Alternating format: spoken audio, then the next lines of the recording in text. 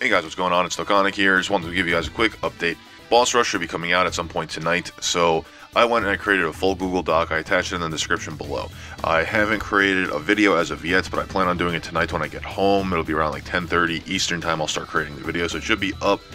Um, I'll schedule it to be released at 3 a.m. Eastern time, just in case the maintenance runs a little bit longer. I want to make sure it goes live at the same time that the event goes live. That way, it's available to you at that time. Go ahead and look through the Google Doc. It's available to anyone for, to view. Um, I already sent it out to a whole bunch of different admins and a whole bunch of different groups and Reddit and everywhere else just to get opinions and to see if it'll be used. Hopefully, this helps everyone out. Um, ideally, you're going to want your ideal teams. This is going to be based off of villains and heroes or heroes. Uh, essentially what you want to do is just make sure that of, of, everyone in the list that's here in the Google Doc, make sure you go and select the hardest hitting units that you have and make sure that everyone links well together. Obviously, if you pick the lowest tier of each one, you're probably not going to be able to beat the hardest levels of boss events, but these are here just to try and help you replace the units that, that aren't available to you on an ideal team.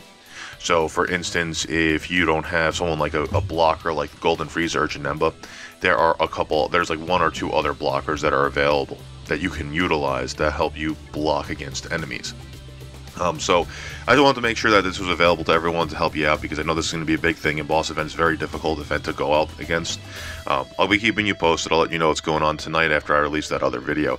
But um, here you go. It's down in the description below. Enjoy and let me know if you think that there should be anything added or taken out of this list. Thank you all. Hit that sub button if you're new here, and I'll catch you later.